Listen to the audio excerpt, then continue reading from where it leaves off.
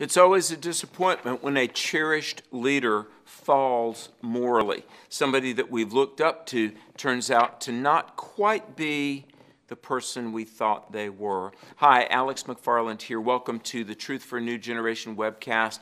And I want to talk a little bit about some of the allegations that have come out about the late Ravi Zacharias.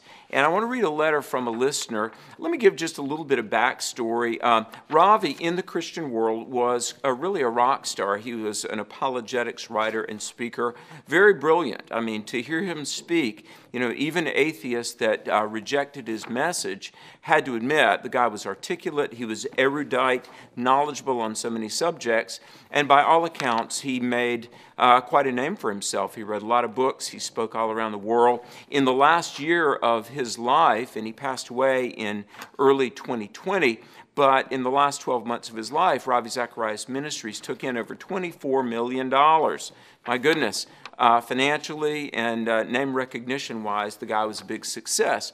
But even before he died, there had been rumors about improprieties, and now that he's passed away, some very incriminating things have come out and it's kind of it's been at best a disappointment and for some people that we've heard from they're just really crestfallen that this cherished leader turns out to have been uh, a guy who didn't live what he preached um, I will say this very briefly.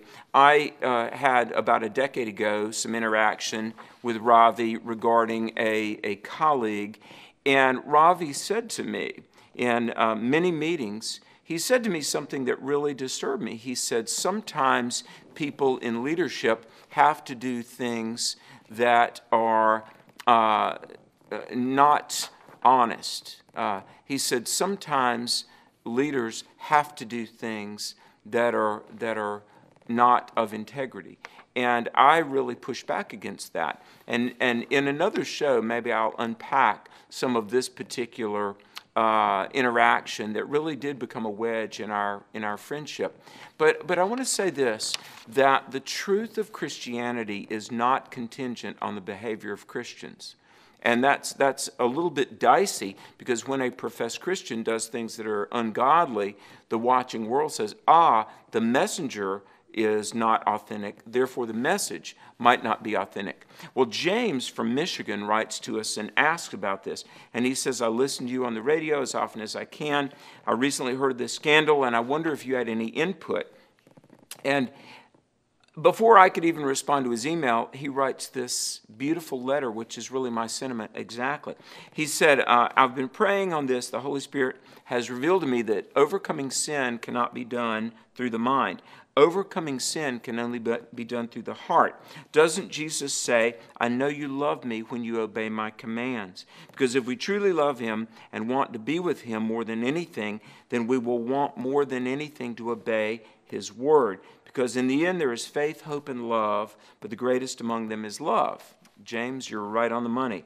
If we have a sin problem, it's because we have a heart problem, and we need to allow His most Holy Spirit to reach into and change our heart. Again, because we want Him to. When our love for God and for others is greater than the love of self. James, you're right on the money. And this is something that I saw in the apologetics world. You know, I flew in a lot of high orbits and academics, and I would talk to people and say, look, learn C.S. Lewis, memorize Aristotle's first principles. I get it. I love the academic side of apologetics.